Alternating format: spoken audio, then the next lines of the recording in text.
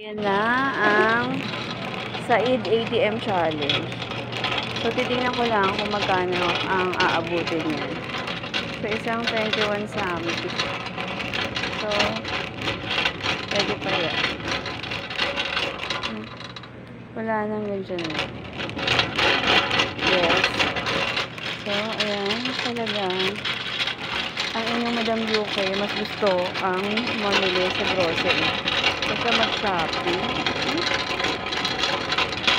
Inuuna ko naman na si Kira. Isa sa mga kapritsyo. Mahal na, eh. Bibili lang ako niyan kapag ka, ano, may free. Oo, na baunan. Nakapunta na ako ng counter. Yes, nagpunta ng counter. Ganun din ba kayo? Yung mga babae na after sa uunahin yung pagkain. Nakakaloka yung mga yan. Hmm? Ako pagkain talaga muna. At saka yung pagbabayaran.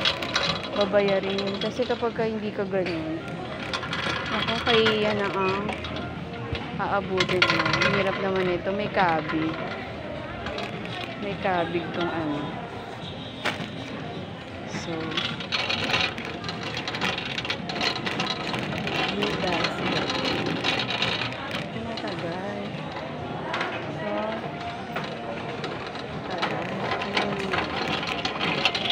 Matagal.